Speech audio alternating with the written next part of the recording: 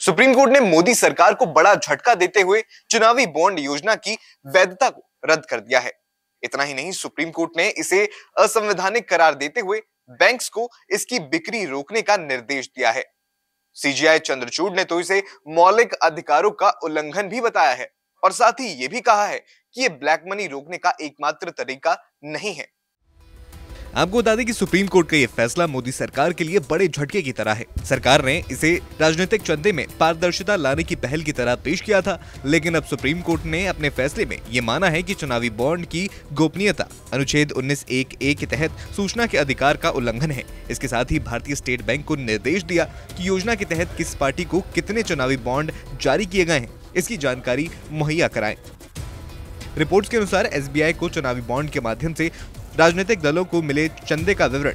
तीन सप्ताह के अंदर इलेक्शन कमीशन को देना होगा। कोर्ट ने एसबीआई को यह भी निर्देश दिया कि वो चुनावी बॉन्ड से जुड़ी जानकारी अपनी वेबसाइट पर भी पब्लिश करे। एसबीआई को राजनीतिक दलों द्वारा इनकैश कराए गए चुनावी बॉन्ड का विवरण भी देना होगा। वहीं इनकैश नहीं कराए गए चुनावी बॉन्ड की राशि खरीदार के खाते में वापस करनी होगी।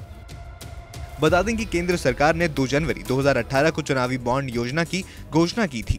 किसी राजनीतिक दल को दान देने के लिए चुनावी बॉन्ड किसी भी भारतीय नागरिक को एसबीआई की अधिकृत शाखाओं से केवाईसी कंप्लाइंट अकाउंट के माध्यम से खरीदा जा सकता था। राजनीतिक दलों को इन्हें जारी होने से 15 दिन के भीतर इन कैश कराना होता था। चुनावी बॉन्ड के ज़रिए चंदा देने वाले डोनर का नाम और अन्य जानकारी दर्ज नहीं की जाती थी।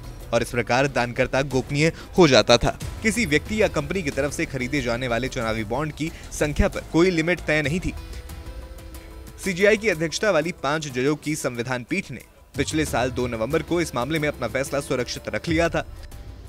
सुप्रीम कोर्ट की संवैधानिक पीठ में सीजीआई डीवाई चंद्रचूड़ के अलावा justice Sanjiv Khanna, justice B R Gavai, justice J B Pardiwala और जस्टिस मनोज मिश्रा शामिल थे।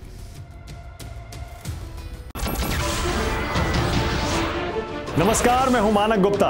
अगर आपको हमारा ये वीडियो पसंद आया हो तो इसे लाइक और शेयर ज़रूर करें।